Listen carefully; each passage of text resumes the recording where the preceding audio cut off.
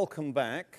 Um, I'm Tony May from the World Conference on Transport Research Society, and I have the honor of uh, chairing this uh, Innovators Platform. Um, we've heard from keynote speakers both yesterday and today that business as usual is no longer acceptable, that we need to innovate, and we need to innovate in technology, we need to innovate in demand management, we need to innovate in governance.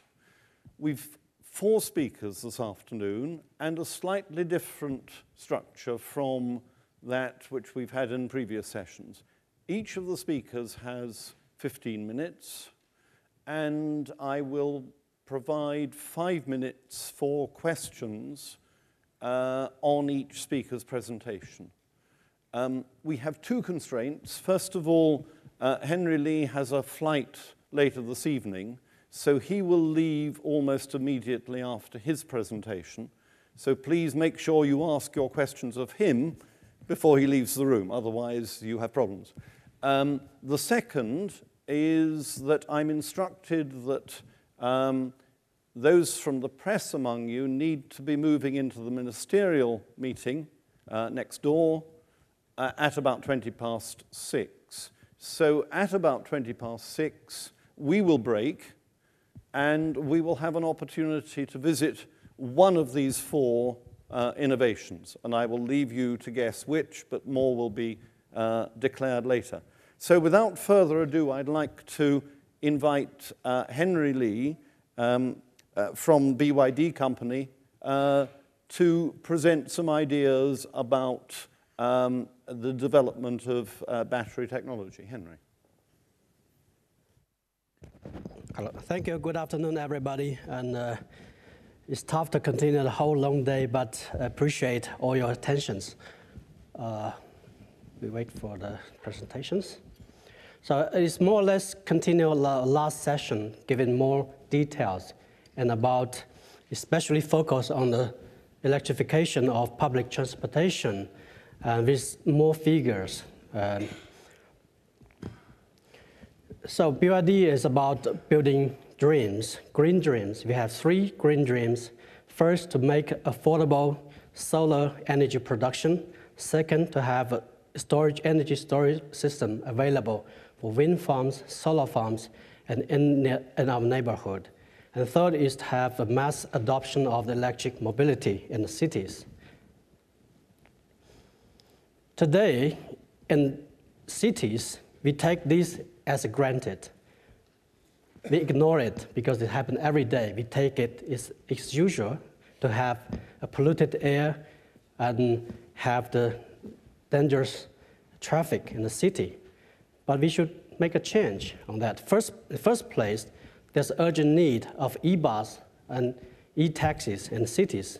The reason behind this is that considering the efficiency of the fund, because currently in all countries, more or less, for electric mobility, there's a subsidy incentive programs or other incentives to encourage people to use more electric cars because there's uh, many restrictions or obstacles for people to really buy electric car. Firstly, because of the shorter range. Secondly, it's because of high price of electric cars, also lack of infrastructures charging infrastructures. So people are reluctant to buy. So why not we focus on the public transportation sector, which government can play an important role, and consider the, the effectiveness in terms of emission and pollution from each taxi that's equivalent to 10 private cars. One city bus equivalent, equivalent to 30 private cars in terms of fuel consumption and emission.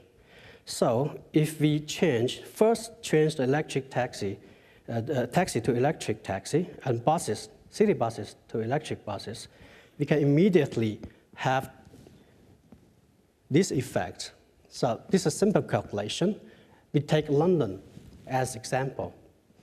London, they have a population of, of about uh, uh, 19,000 units of taxis, and 8,500 buses. So if we can reduce this, that's the total number is 0.93% of the total car park plus bus in the city. But the reduction of emission is 15.18%. So this is dramatic uh, effect with limited input. The benefits are clear. By electrifying the taxi and bus fleet in, in London, it can reduce the, the, the fuel consumption by 445 million liters each year and avoid 1.5 million tons of local CO2 emissions, and also the polluted uh, content like NOx and particles. And noise can be much noise is much, much lower. Uh, from electric buses we have tested, compared to the diesel bus, the noise level can be only 30% or even lower. And no heat radiation, because the experience in the, in the busy cities, the buses give noise, heat, and polluted air. So this could be el eliminated from the city. On the other side, in the long term, if you compare the, the operating cost operating cost from the electric electricity that's roughly 30% or below compared to diesel for diesel. So if you run the buses and taxis, if you take bus as example, the annual operating cost you can save uh, by, uh, by city bus uh, is 26,000, more than 26,000 pounds, and eight years operation time, you can save up to 200 and 11,000, two, uh, uh sorry, 211,000 pounds. So this can offset a little bit the high initial cost of electric buses. But that's still not enough. That's why government involvement and incentives still necessary to encourage people to start using these new technologies. Uh, here, just give some examples. Uh, this is the bus we are making, and we supply to Shenzhen City in China. Uh, 250 will be delivered before August, and uh, additional 200 will be delivered before end of the year. And actually, Shenzhen City has very ambitious target, and from our point, it's achievable target. Want to electrify all the taxis and all the buses in the city in five years' time. That's about 12,000 12, uh, buses and 13,000 taxis. So we can imagine if they can achieve that, there will be a great, great improvement in the city uh, environment. We, in the last session, we talked about livability. So that's provide to every citizen a much better society. And this is accessible to all peoples. So this benefit is to all the peoples. And here's the taxi we deliver. Uh, another 300 new taxis e-taxis will be delivered uh, to Shenzhen City.